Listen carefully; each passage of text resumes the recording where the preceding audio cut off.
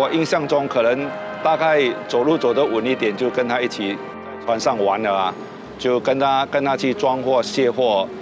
或者修船啊，或者怎么样，就跟着他去玩的了。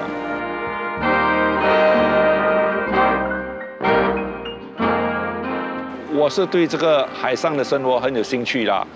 如果是进入这个行业，我看的是很自然的，就这么打入这个行业里面。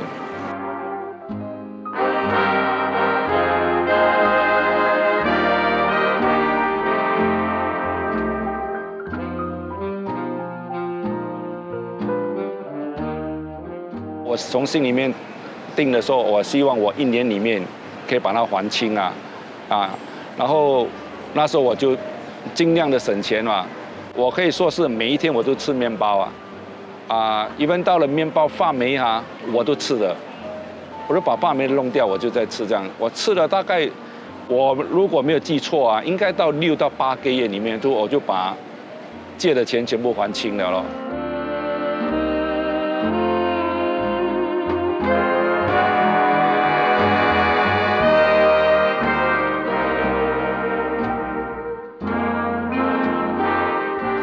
清河之后，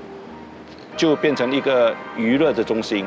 那个船上所载的客人不再是货物了了，也不再是修船工人或者船员，都是来自于世界各地的游客。